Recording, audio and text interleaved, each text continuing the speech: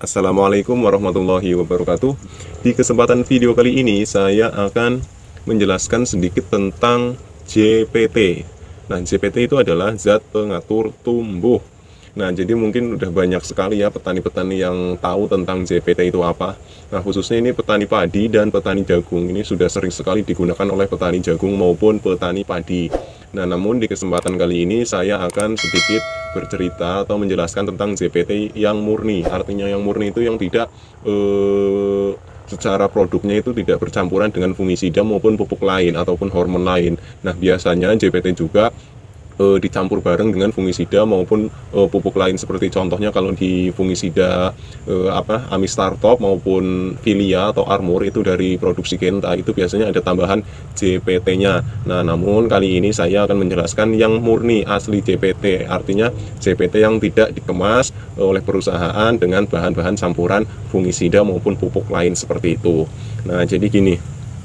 JPT ini lebih dikenal oleh petani karena untuk memicu pertumbuhan eh, batang daun, batang maksud saya daun dan akar yang jelas digunakan untuk merangsang dan mempercepat pertumbuhan. Nah, namun yang harus dicatat eh, untuk kawan-kawan khususnya kawan-kawan petani eh, cabai ya ini. Kalau petani cabai saya kira jangan gunakan JPT yang ini karena saya pernah gunakan juga di waktu umur itu masih 15 hari setelah tanam. Namun yang terjadi memang cepat sekali pertumbuhannya namun bunganya itu rontok karena memang mungkin e, tidak siap ya e, tanaman ini untuk e, apa ya namanya mengeluarkan bunga. Nah namun karena dipaksa oleh JPT bunganya itu akhirnya rontok dan tidak siap lah tanamannya yang jelas. Nah itu salah satu pengalaman saya. Nah ini yang sering saya gunakan ini untuk tanaman jagung dan tanaman padi.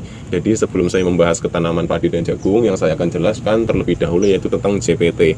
Jadi seperti ini, e, pada saat ini ada lima kelompok JPT yang sudah dikenal oleh para petani. Nah yang sering dikenal oleh para petani ada ada lima. Yang pertama itu JPT auksin itu yang pertama. Nah ada auksin, sitokinin, giberlin, nah etilen, terusan asam absisat. Nah, itu ada lima. Saya ulangi lagi. Yang pertama ada auksin, yang kedua sitokinin, yang ketiga giberlin, yang keempat etilen, dan yang kelima asam absisat. Nah, jadi yang pertama saya akan jelaskan tentang yang auksin dulu. Nah, jadi gini, auksin itu JPT yang peran utamanya ini adalah untuk membantu percepatan pertumbuhan tanaman. Nah, ini baiknya di fase vegetatif kan, karena ini untuk pertumbuhan tanaman. Karena di fase vegetatif, pertumbuhan tanaman, saya ulangi lagi, ini auksin peran utamanya. Nah, jadi secara spesifik atau secara uh, detailnya, manfaat dari auksin ini yaitu untuk meningkatkan sintetis protein. Jadi protein itu lebih ditingkatkan karena dengan adanya JPT auksin. Nah, terusan uh, untuk pembelahan dan pengembangan dinding sel.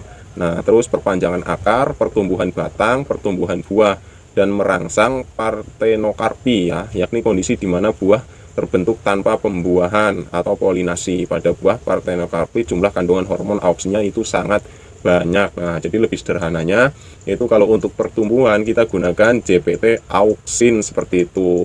Nah, terus eh contoh bahan aktif yang mengandung hormon auksin alami itu adalah asam indolasetat nah atau IAA itu biasanya disingkatannya IAA dan asam indobutirat. Ya, nah kalau indobutirat itu IBA saya ulangi lagi contoh bahan aktif yang mengandung hormon auksin yang hormon auksin alami itu asam indolasetat dan asam indobutirat. Kalau nggak salah indobutirat ya IBA itu namanya. Nah terus bahan alaminya yaitu dari keong mas, bekicot, dan kecambah. Nah mungkin kawan-kawan petani ini pernah mendengar ya kalau bekicot maupun keong mas itu bisa dijadikan untuk POC atau pupuk organik cair. Nah inilah salah satu manfaatnya eh, keong mas maupun bekicot yang digunakan untuk pupuk pupuk organik cair itu manfaatnya itu adalah eh, ZPT auksin. Nah, ZPT auksin ini biasanya e, berbarengan dengan yang namanya asam amino yang akan menjadi asam amino yaitu untuk fungsinya ini asam amino ini untuk memulihkan e, tanaman-tanaman yang stres seperti itu. Nah, terus contoh ZPT auksin sintetik itu ada asam nafralenacetat. Nah, asam nafralenacetat. Nah, saya tidak akan jelaskan ini malah nanti kawan-kawan juga malah nambah e, pusing ya. Nah, dari contohnya, contoh merek dagangnya CPT Auxin itu ada Ratu bio, biogen kalau nggak salah yaitu Ratu Biogen nah terus SL dan Kelpak Ratu Biogen SL dan Kelpak nah itu adalah contoh merek dagang dari JPT auksin seperti itu. Nah karena ini JPT Gibro apa Gibro jadi ini bukan termasuk uh, auksin ya karena ini kandungannya itu kan asam gibrelat nah nanti kita bahas ini asam gibrelat juga. Nah yang kedua adalah sitokinin nah sitokinin adalah uh, yaitu lebih dikenalnya itu untuk uh, apa namanya merangsang pertumbuhan seperti akar, daun muda, dan pengembangan buah-buahan dan biji-bijian. Nah ini hampir sama juga dengan uh, auksin sitokinin itu ya. Nah terusan kalau apa CPT sitokinin ini bersama bersamaan dengan auksin dan giberlin merangsang pembelahan sel-sel tanaman. Jadi apabila diaplikasikan uh, sitokinin maka tanaman ini akan cepat sekali e, membelah sel dan pertumbuhan sel. Artinya itu seperti pucuk-pucuk baru, tunas tunas-tunas baru. Kalau di tanaman-tanaman seperti cabai maupun seperti terong, nah dia ini akan mempercepat sekali pertumbuhan tunas-tunas baru kalau kita aplikasikan sitokinin. Namun sitokinin ini biasanya berbarengan dengan yang namanya e, auksin dan giberlin. Nah, itu. Nah, terus e, contoh bahan yang mengandung hormon sitokinin alami yaitu seperti bonggol pisang, air kelapa, dan jagung muda. Nah mungkin juga ada kawan-kawan yang pernah mendengar pembuatan kompos itu menggunakan campuran e, bonggol pisang, terusan POC, ada campuran dengan air kelapa. Nah ini adalah salah satu e, kandungan di air kelapa dan bonggol pisang dan jagung muda yaitu JPT sitokini nah itu. Jadi biar kawan-kawan juga nggak nggak penasaran seperti itu. Nah contoh merek dagang dari JPT sitokini itu adalah Indo Indoser kalau nggak salah itu Indoser Indoser 10 SL nah, Indoser 10 SL dan Kelpak seperti itu. Nah, itu contoh merek dagangnya. Itu yang sintetik ya sifatnya sintetik itu merek dagang. Nah terus yang ketiga ada JPT Giberin, gibrelin. Nah, gibrelin ini adalah e, turunan dari asam gibrelat dari ratusan jenis gibrelin, gibrel asid atau GA3 yang sering digunakan. Nah, jadi gibrelin ini apa namanya? JPT gibrelin ini yaitu ada di dalam merek dagangnya itu Gibro. Nah, Gibro ini malah sering dikenal yaitu Gibro kalau kata petani-petani itu Gibro bukan Gibro. Nah, ini adalah kandungannya asam eh, apa namanya? Gibrelat. Nah, kalau asam gibrelat berarti ini adalah CPT gibrelin atau CPT gibrelin. Nah, manfaatnya ini adalah berfungsi untuk merangsang munculnya bunga, pemanjangan batang dan pembungaan yang serempak. Ini manfaatnya untuk gibrelin. Nah, berarti ini pasnya di fase-fase vegetatif, nah atau di fase pemunculan bunga dan bakal buah seperti itu. Nah, terus contoh bahan eh, contoh bahan-bahan yang mengandung hormon giberlin alami itu eh, rebung dan bawang merah. Nah, rebung itu apa ya? Eh, tunas muda dari tanaman bambu atau tanaman bambu muda tapi yang masih bentuknya warnanya itu putih gitu. Nah, itu adalah kalau bahasa Jawanya itu mengatakan itu bung. Nah, kalau bahasa Indonesianya yaitu rebung. Nah, ini kan bisa juga untuk pembuatan pupuk karena memang mengandung CPT giberlin seperti itu. Nah, terus yang keempat ada asam absisat.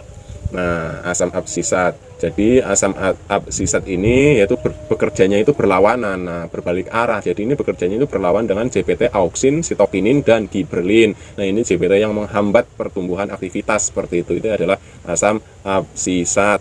Nah, kalau bahan alaminya saya kurang tahu kalau absisat ini ya. Soalnya absisat ini juga jarang sekali digunakan oleh para petani. Nah, itu.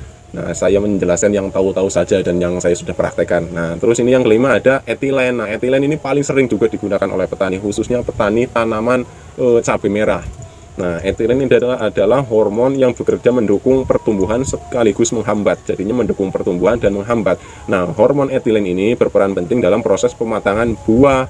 Namun jika aplikasinya ini berlebihan, nah justru berpengaruh sebaliknya yakni itu apa menghambat pertumbuhan. Nah, bahkan menyebabkan bunga gugur bahkan tanaman bisa mati kalau kita menggunakan hormon etilen berlebihan. Nah, jadi secara spesifik manfaatnya ini untuk mempercepat proses pematangan buah itu kalau hormon etilen seperti itu.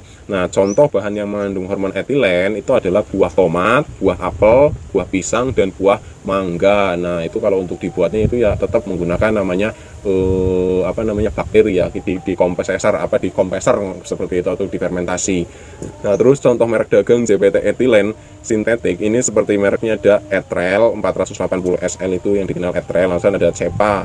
Nah, terus ada Protepon. Nah, ini etrel ini atau hormon etilen ini eh, sering digunakan oleh petani cabai merah apabila harga cabai merah sedang bagus ingat ya harga cabai merah misalkan sedang 40.000 sedangkan buahnya itu masih hijau tapi hijaunya udah hijau tua. Nah itu disemprot. Etilen itu sangat cepat sekali merahnya. Nah ini makanya sering sekali petani-petani menggunakan itu. Tapi kalau menurut saya tetap kurang bijak dalam penggunaannya. Nah itu salah satu eh, ada beberapa contoh hormon atau zat pengatur tumbuh. Ada etilen ada asam absisat terus ada giberlin ada eh, sitokinin dan ada auksin nah ini gibro adalah termasuk giberlin. Nah, ini sangat bagus untuk vegetatif atau e, pembungaan dan pembuahan. Nah, ini bagusnya diaplikasikan ke tanaman padi dan tanaman jagung. Kalau tanaman jagung disemprotkan di tongkol buahnya itu e, sangat cepat sekali untuk pembesaran buah jagung seperti itu.